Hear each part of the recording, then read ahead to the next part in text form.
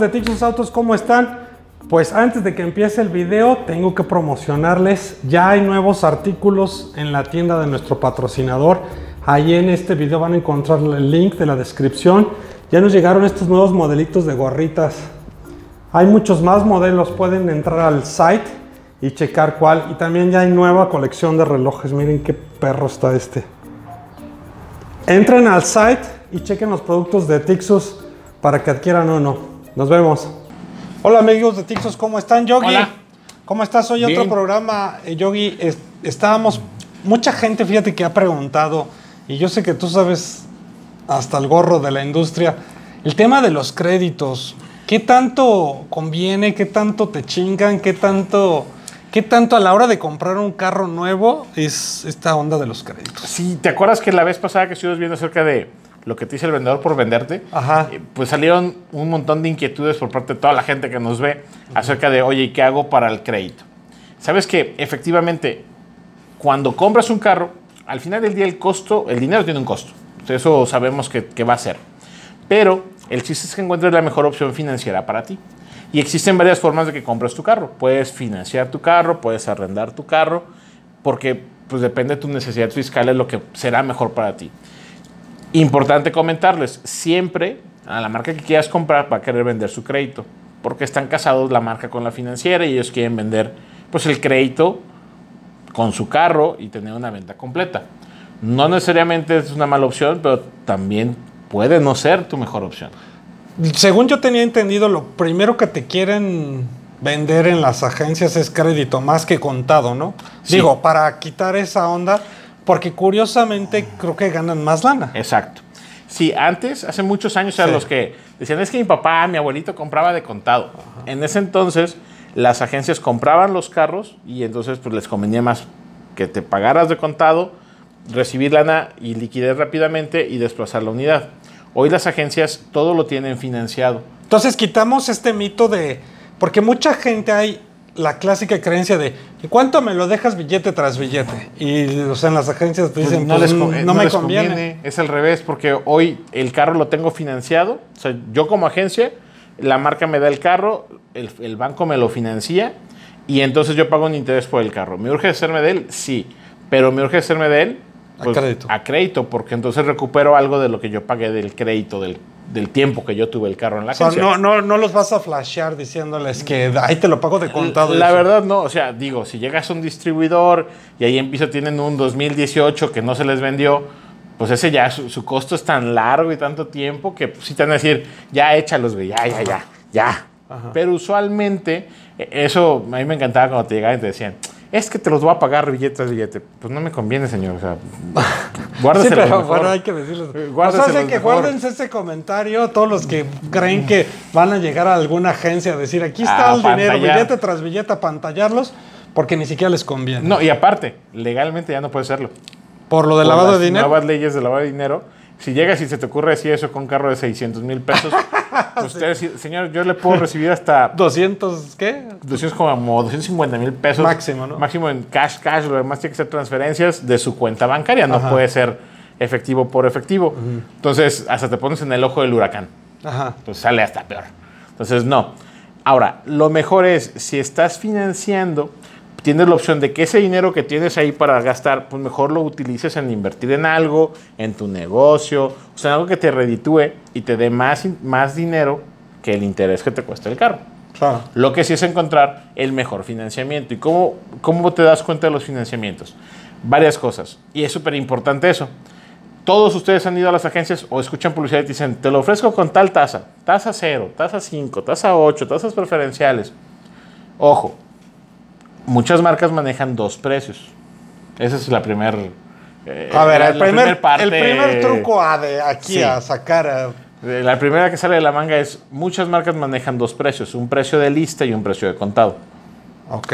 En el precio de lista te ofrecen meses sin intereses o te ofrecen eh, um, tasas preferenciales. Y en los precios de contado te dan la tasa estándar. Cuando tú te emocionas y dices, es que me lo van a vender y me van a dar el carro X, el que le quieras poner, a 30 meses sin intereses, wow. eh, ¿por qué no me lo dejas tú así, que estoy aquí contigo y tú, marca japonesa, no quieres venderme meses sin intereses? Y señor, saque la corrida financiera al precio que le dan a 30 meses sin intereses, es como si le dan el precio bajo con la tasa estándar. O sea, es el truco. Pagas lo mismo, pero se escucha bonito. Eso es un cuento, es una leyenda. Te hace verte con madre nada más. O sea, el- otra vez, el costo del dinero, ahí está. No se quita, no se añade. Es lo mismo, pero se escucha padre. Entonces, fíjate qué precio te están dando. Hay marcas de precio único. Ellos dicen, si me pagas con corcholatas o me pagas con bitcoins o me pagas en crédito, el precio es tal. Ah, entonces ya estás hablando de un solo precio y de ahí puedes ver, ahora sí, cuál banco o financiera te conviene más. Segundo, usualmente en los créditos vas a encontrar tasas que se escuchan bien, pero a la hora que le ponen el CAT, se escuchan súper elevadas. A ver, ahora pues, dinos qué es el CAT. Y es que esa se puede ir Todos una los clase trucos. de... Esa clase puede ir como de tres horas el puro CAT. Sí, pero El- bueno, así rápidamente. El costo anual total es la suma del todo el costo financiero que tiene tu carro en el año. Y entonces sacan un, un porcentaje o un porcentual de lo que sería ese costo. ¿Qué estamos incluyendo ahí? El costo del dinero del financiamiento, el costo del seguro financiado. O sea, esos dos suman y son parte del CAT. Y aparte, eh, todos los créditos llevan un seguro de vida.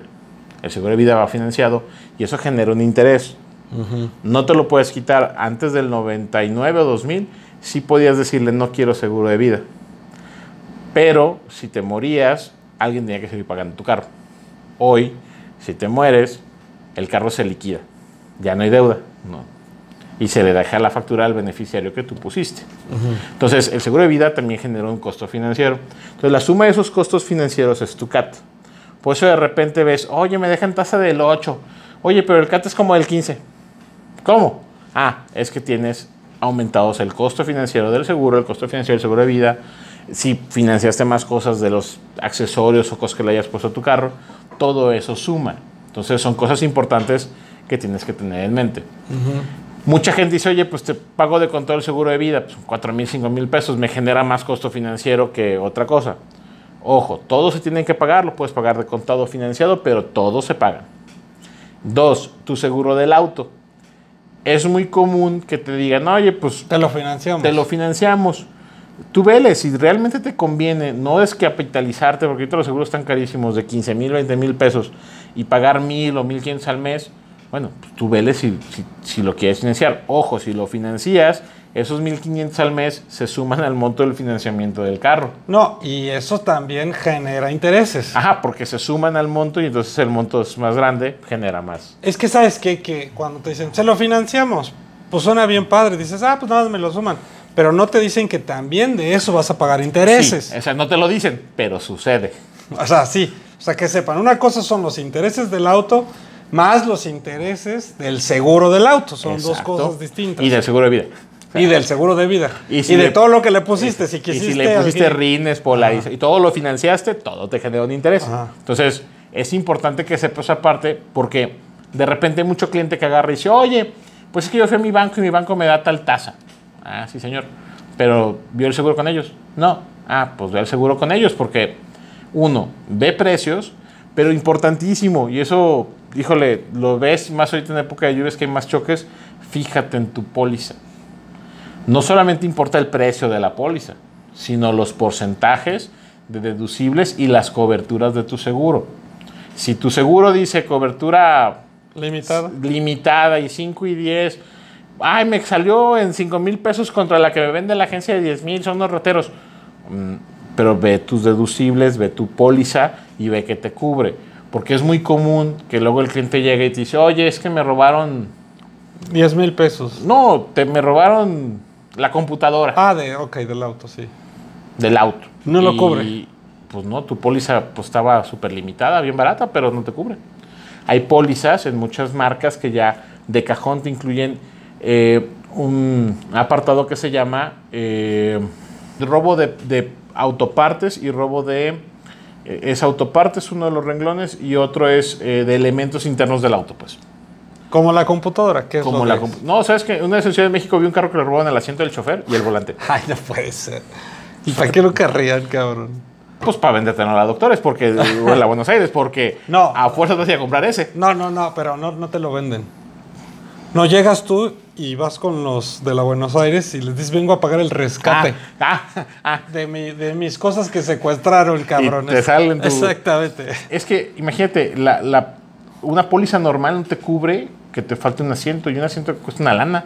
Sí, porque claro. no es una pieza que tú compres usualmente. en- Oye, pero en nunca se me hubiera ocurrido como ratero robarse asientos. Yo ¿no? vi un carro en México, así, en el DF, así, por el Ya le estabas dando ideas a los No, no es pa- no es malandrines. para que quieran hacer eso, pero sí sucede. Entonces, revisa tu póliza. Es cierto, va a salir más cara, pero te sale. Es preferible pagarle 15 mil pesos al año que un siniestro en donde no te cubra tu seguro y pagues 40, 50, 60 mil pesos. Ahora, teóricamente, bueno, yo más o menos tengo entendido esto, a ver si tú me aclaras. La financiera o el costo del dinero más barato, en teoría, es la financiera de casa. O sea, por ejemplo, si es Nissan, pues Nissan. Nissan, ¿no? Y si es Volkswagen, con Volkswagen. Y de ahí sube el precio del dinero a banco, ¿no? Depende. Digo, todo eso ahorita me dices, ¿no? Banco. Y después de ahí, este, a las famosas afianzado, eh, financieras. ¿Cómo son estas? ¿Financieras? Sí, financieras, ¿no?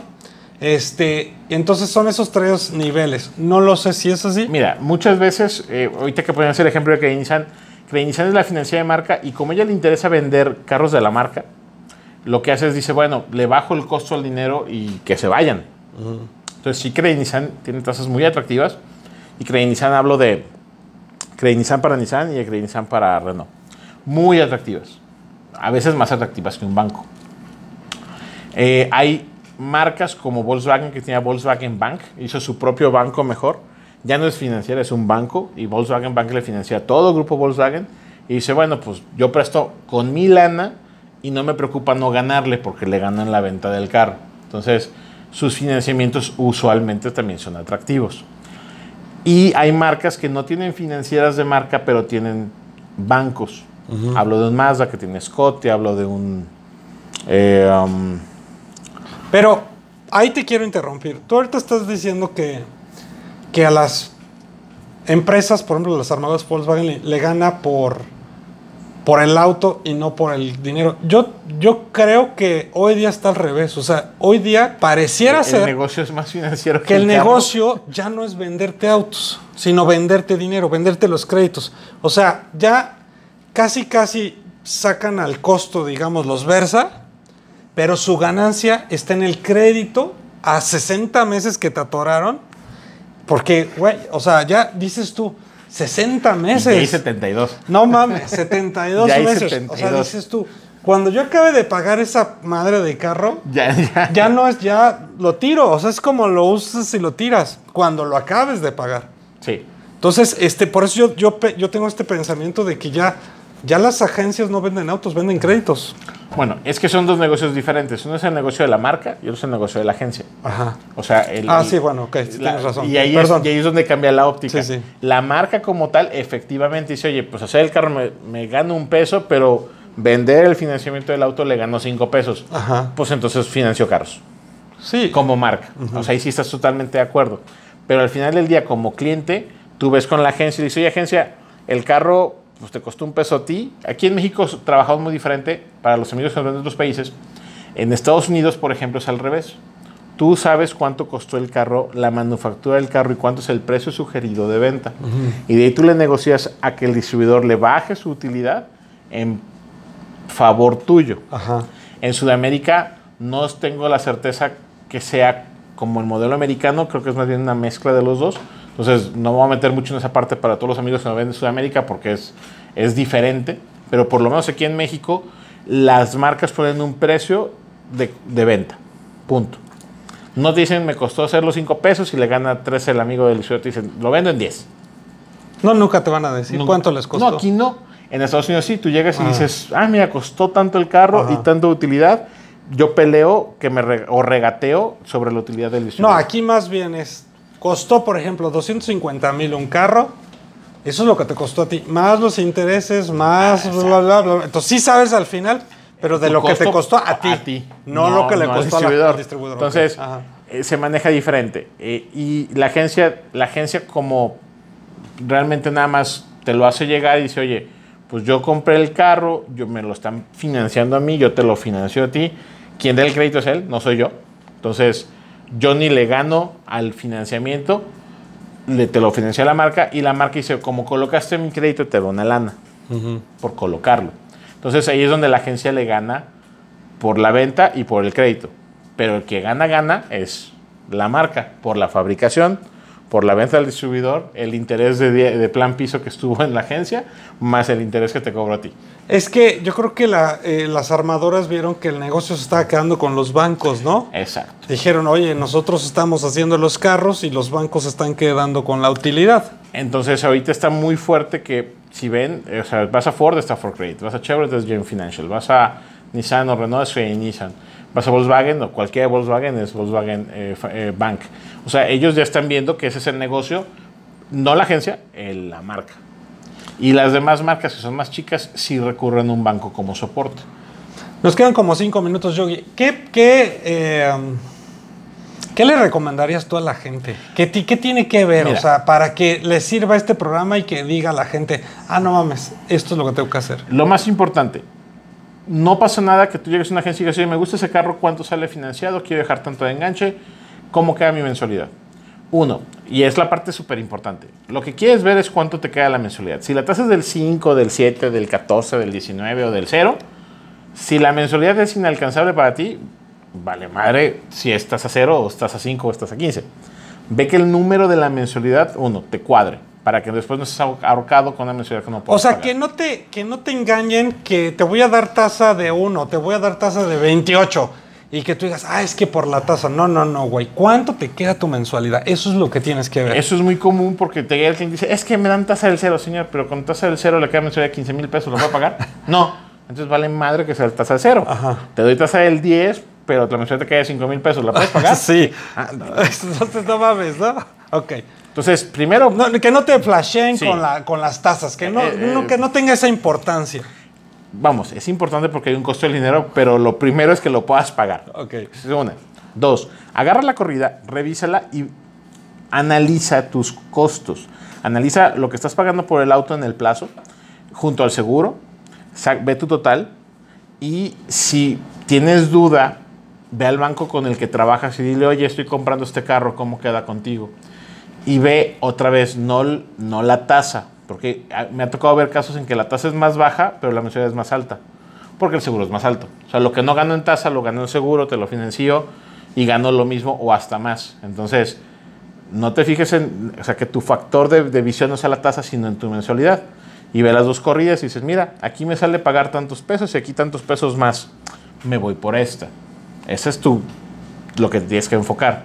Oye, pero aquí estás el 5 y aquí del 0. Sí, pero pues si me sale más barato, o sea, si la suma de mensualidades me da menos, pues Ajá. ese es el que me conviene. Ajá. Y a veces, muchas veces el cliente compra un carro por la parte financiera más que por el carro. Esa es Entonces, otra. Tienes que ser, vamos, estás enamorado de un carro, pero no te ajusta, pues compra el que te ajusta o el que puedes pagar.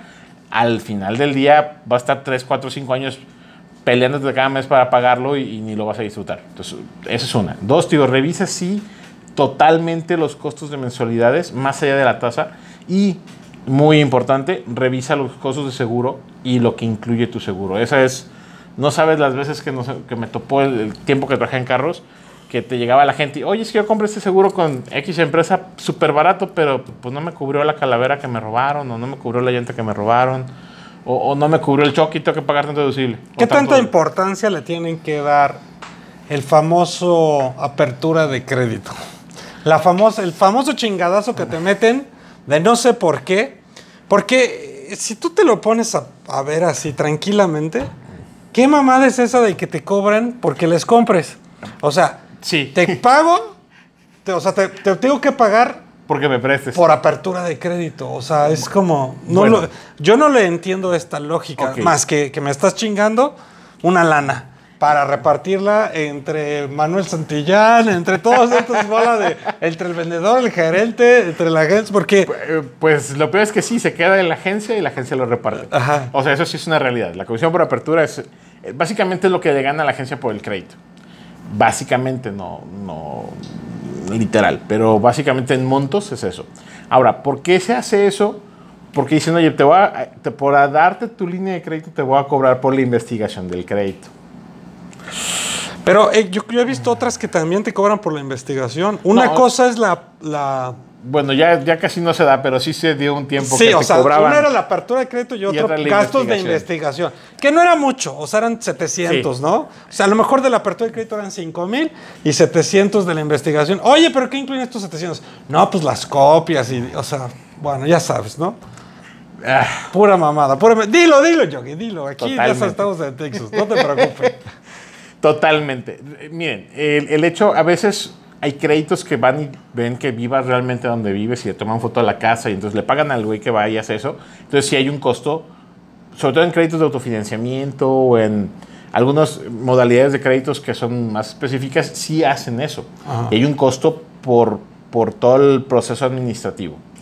Eh, pero la comisión por apertura realmente es, pues te cobro por darte el crédito, te cobro el 2% o el 2,5%, y usualmente es lo que va a ganar la agencia del vendedor, o sea, en montos es lo que se va a repartir, y por eso te lo cobran. Pero no me lo estás cobrando ya en los intereses.